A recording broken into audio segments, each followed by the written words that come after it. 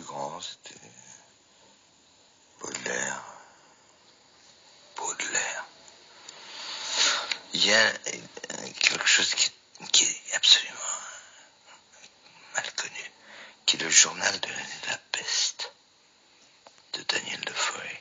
Tout le monde pense que Daniel Defoe a écrit, bon, Robin Sucre c'est parfait, mais il a écrit le journal de la peste.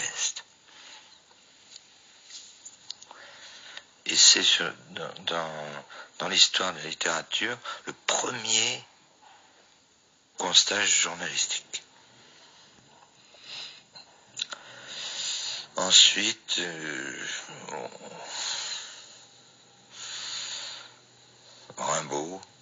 Ben, Rimbaud, on en, reviendra toujours à Rimbaud parce que je voudrais l'égaler, je n'y arrive pas. Peut-être euh, j'y arrive sans, en prendre conscience, mais je veux, je veux l'approcher, je veux retrouver en Abyssinie, je veux, je veux retrouver. La poésie, dans son état pur, n'a pas besoin d'un apport musical. C'est là où ça me fait chier. Parce que j'aime la musique.